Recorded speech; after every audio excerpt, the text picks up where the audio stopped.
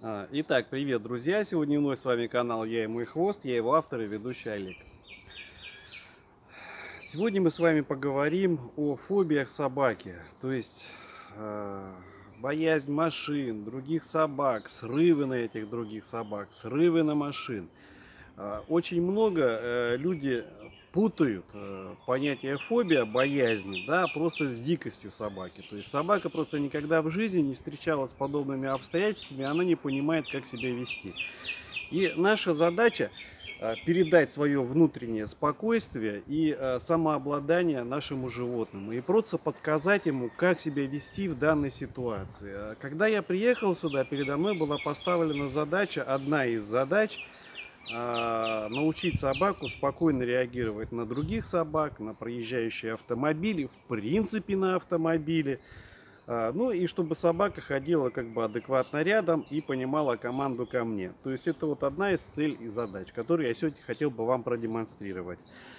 В неизвестной ситуации один из основополагающих принципов не уходить из ситуации, пока собака находится в возбужденном состоянии. Это первое. А второе, не давать собаке принимать самостоятельное решение. То есть прыгать в сторону, убегать куда-то. Это все ее решение. Должно, должны решения исходить от вас. Она не должна задумываться, как себя вести. Обгавкивать собаку другую. Дергаться от проезжающего автомобиля. Здесь всем руководите абсолютно вы. То же самое примерно по команде рядом. Ну, по команде рядом я не буду сейчас много говорить, потому что как бы роликов целая куча на эту тему. Давайте просто сейчас я продемонстрирую, как э, ну, за такой небольшой промежуток времени мы, собственно говоря, с животным э, научились это делать. Э, тут очень важный момент такой, когда приходит неизвестный человек, э, как во многих роликах, у многих кинологов, это происходит мгновенно. Да, этот эффект присутствия первого появления, он есть. И самое главное, что здесь а, нужно, когда собака начинает с вами проживать, когда она начинает вас чувствовать, она начинает вас испытывать. Э, и вот здесь вот, вот уже второе, когда будет происходить испытание вас, ваша задача а, закрепить это поведение.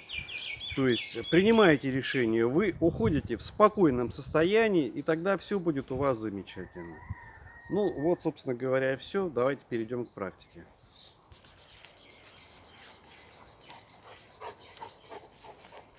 Да, молодец. Да, хорошо.